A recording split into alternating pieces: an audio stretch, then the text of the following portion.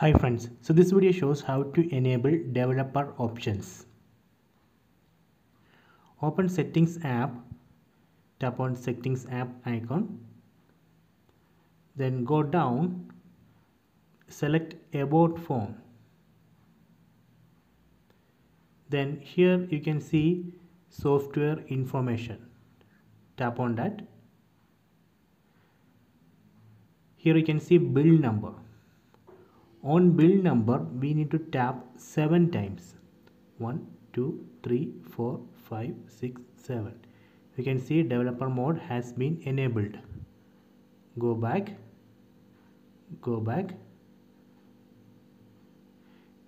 Go down. Here you can see developer options.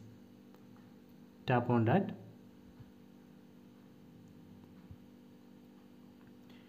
These are the developer options from these options you can select the option which you want to enable.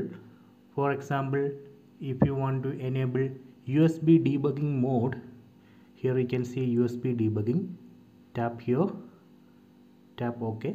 So this way we can enable USB debugging mode. If you want to disable that again tap here and disable it. If you want to disable developer options completely you can tap here and disable it. So after that just go back. If you go down see there is no developer options because I disabled it. So this way we can enable developer options and USB debugging mode.